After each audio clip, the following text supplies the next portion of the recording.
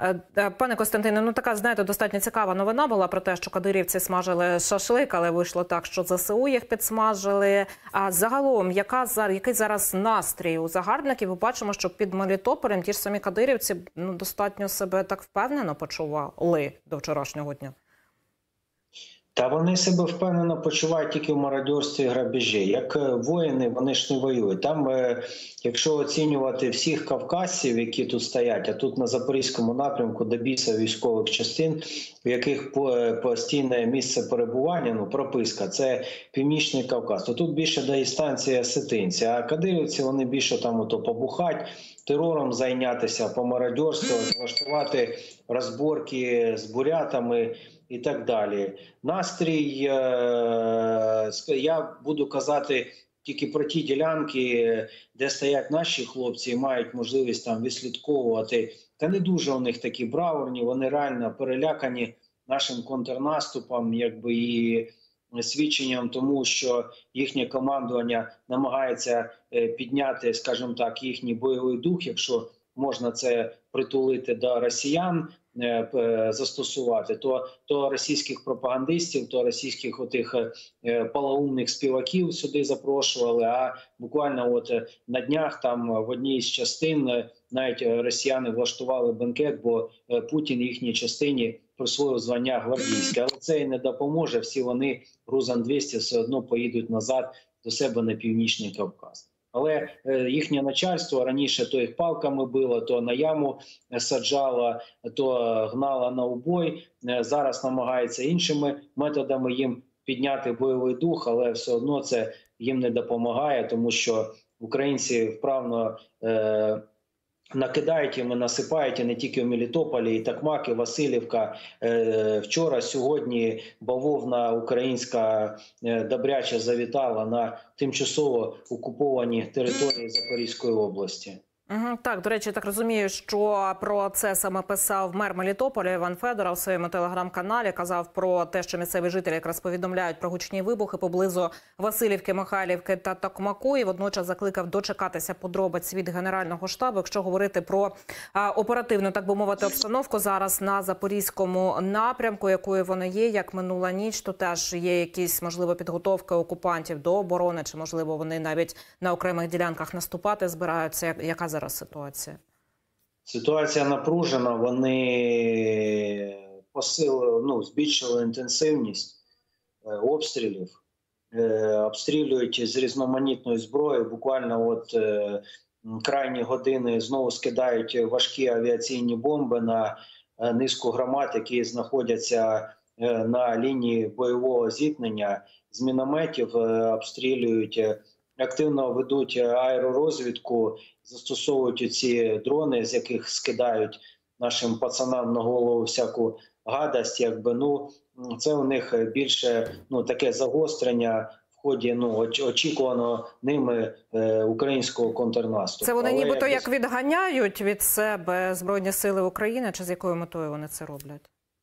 Ну знаю, можливо, навіть з перепугу палять во всі сторони. А з іншого боку, вони намагаються зупинити. Ну е, як ну, в їхній уяві, да що зупинити український контрнаступ, і е, з, але при цьому вони я підкреслюю чергове, вони б'ють виключно по цивільній інфраструктурі.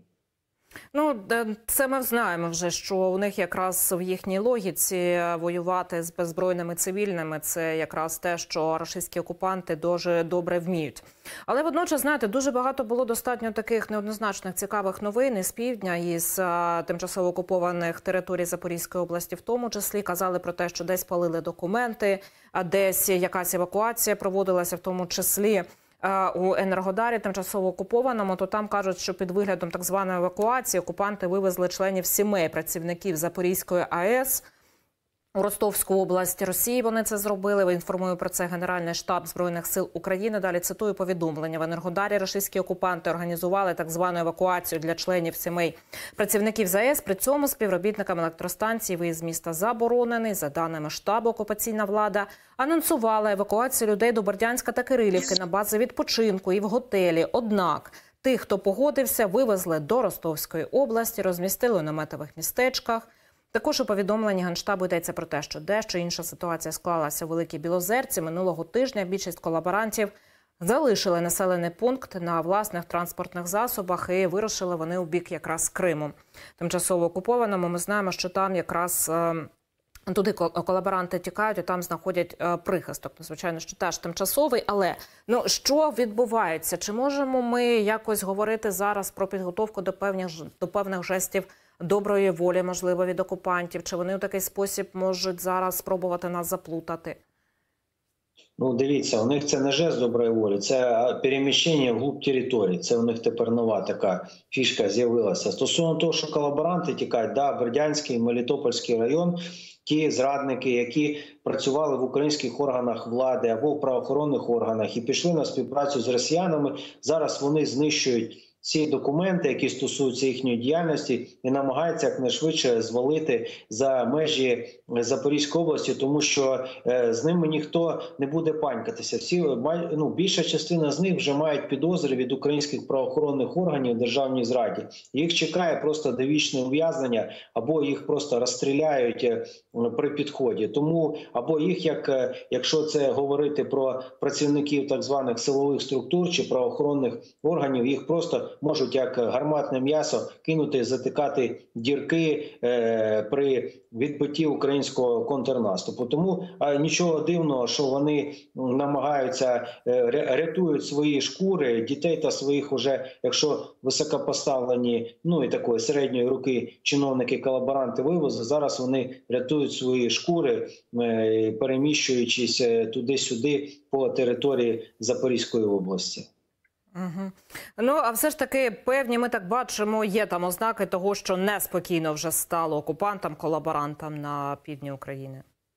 Та їм ніколи тут не було спокійно від 24 лютого. Ну якби я ж кажу, що ми просто маємо зрозуміти, що незважаючи на те, що вони перли великими колонами, їм і в Енергодарі, і в Мелітополі перші дні вторгнення Нацгвардія дала бій. Ми, як добровольці, там е, виконували ті чи інші завдання. У них кожній громаді їхні окуповані там горіла земля, і партизани, і цивільні, і військові їм е, чинили спротив. Тому тут е, ніхто окупантів на запорізькій землі не чекав, і якби взагалі не зрозуміло на що вони розраховували. Так, і звичайно, що ми всі пам'ятаємо, як виходили цивільні по всіх містах, які зараз під окупацією, з плакатами, з вимогами, і як говорили просто в обличчя окупантів, що їм тут не раді, як кидалися на танки. Це звичайно, що ми всі дуже дуже пам'ятаємо, дуже чекаємо на повернення цих населених пунктів. У нашу родину. От, до речі, щодо колаборантів, то тут навіть ну звичайно, що це Херсонська область, але натомість це дуже показовий випадок, що колаборант Сальдо згадав українську мову. Я так розумію, теж внаслідок цих всіх обставин. А ну, перезувається може до літнього сезону. Голова окупаційної адміністрації Херсонської області. Звернувся до українських військових, закликав одуматися. Свій ролик він опублікував на офіційному телеграм-каналі. От трохи, аби я не була голослівною, почуємо і повернемося до обговорення.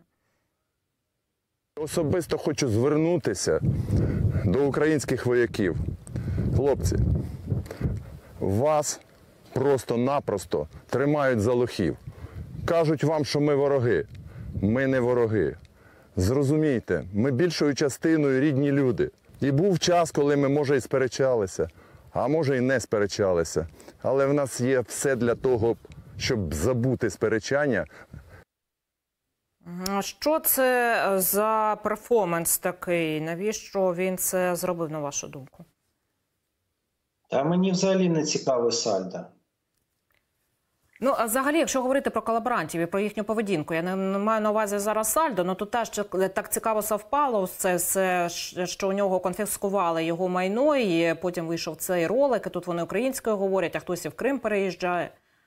Про їхні певні, можливо, це настрої кажуть. Чи це певним чином може також вказувати на те положення, в якому окупанти зараз на тимчасово окупованих територіях? А ви думаєте, на підконтрольній Україні території немає колаборантів ждунів і тих, хто передає інформацію? В Запоріжжі їх повно. Це можна не це люди, навіть які займають е, якісь е, е, посади в органах місцевого самоврядування. Це видно навіть по їхнім діям. Коли до них звертаєшся, ми просили, щоб встановили меморіальну дошку нашому загиблому побратиму, який був в Запоріжжі, а потім загинув на Азовсталі. Вони знайшли 150 тисяч причин, щоб не ставити це. Розумієте, ну так у них тут є оці всі ідейні їхні побратими, яких треба також вичищати і бажано разом з Сальдо і Баліцьким в товарному вагоні вивезти кудись Сибір, щоб вони там на все життя і залишилися. Більше ніколи не поверталися до України. От і все. Так, там е, саме місце. Ми бачимо теж і повідомлення від наших правоохоронців про те, що там затримані або колаборанти, або навідники, чи не щодня вони з'являються, скільки ще роботи є. А, Пане Костянтине, ще дуже коротко. Сьогодні просто знову. З'явилася така достатньо резонансна новина про молодь, яка російську попсу слухає в центрі а, якихось великих міст, не дослухається до якихось е, можливо зауважень. І тут знаєте, дуже багато з'явилося коментарів, що їх там треба на передову рити окопи. От в е, ваша думка, от як е, військового, взагалі, чи доцільно такі ініціативи проявляти, чи доречні такі люди на війні? Ну, в будь-якому разі, слухати російську попсу чи російську музику під час широкомасштабної війни це ганьба і це злочин проти України. Стосовно того, що треба займатися вихованням молоді, так ми свободівці про це казали з 91-го року.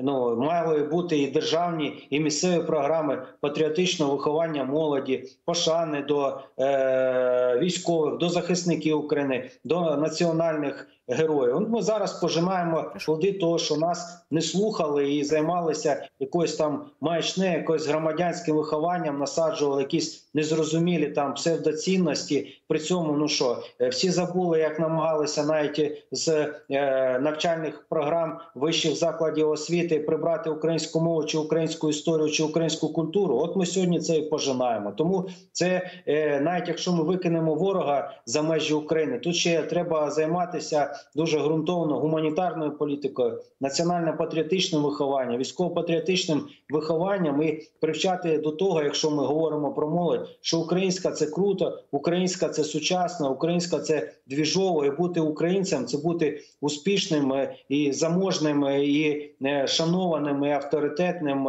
і крутим чуваком там чи дівчиною.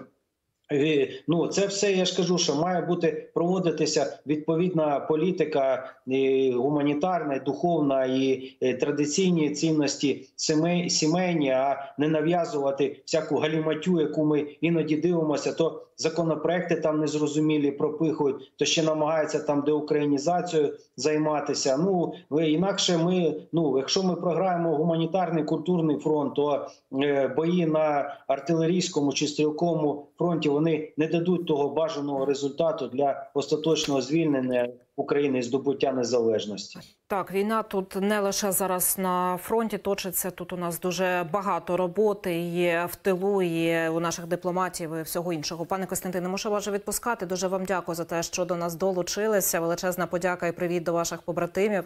Повертайтесь з перемогою. Костянтин Денисов нагадаю, до нас запорізького напрямку долучився.